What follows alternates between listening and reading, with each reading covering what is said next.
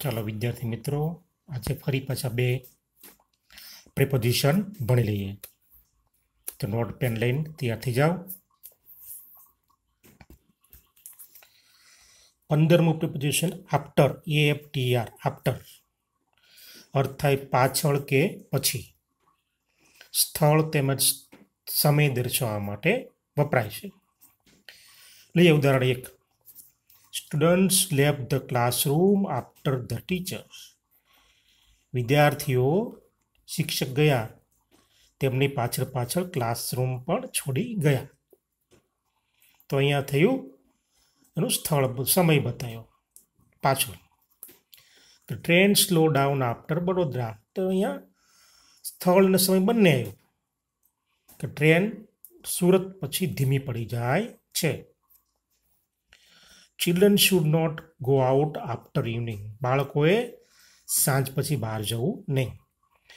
ટૂંકમાં આપણે કેવું કહી શકીએ કે આફ્ટર જે છે એ કોઈ સ્થળ કે સમય, ખાસ કરીને ગતિ દર્શાવવા માટે વપરાય છે.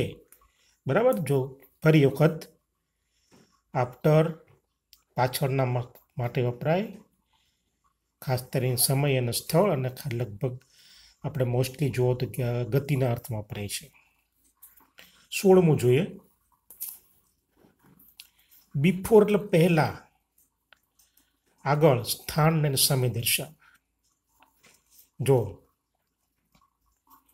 આ beggar is standing before my ભિખારી મારા ઘરની સામે ઊભો છે.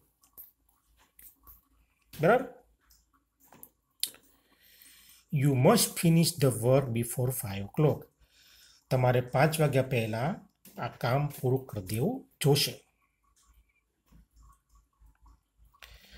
આઈ કમ બિફોર ટેન એમ હું દસ વાગ્યા પહેલાં આવી જઈશ.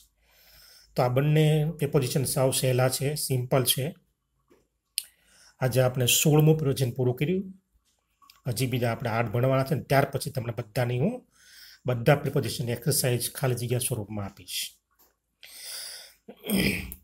આજે હવે પાછું આપણે વધારાનું કંઈક વસ્તુ તમને આપું છું. બે કોમ્પ્રિહેન્શન આપું છું ચોપડી બારના. એ તમે વાંચજો અને પ્રશ્નના જવાબ અંદર આપેલા છે સ્ટડી કરજો. બસ તો હું બે અહીંયા મૂકું છું, જરાક જોઈ લો. જો વિદ્યાર્થી મિત્રો, અહીંયા મેં એક ફકરો આપ્યો છે, એને કોમ્પ્રિહેન્શન કહેવાય. એ ફકરો તમે પહેલાં આખો વાંચી લો. પછી નોટબુક ઉતારી લેવો.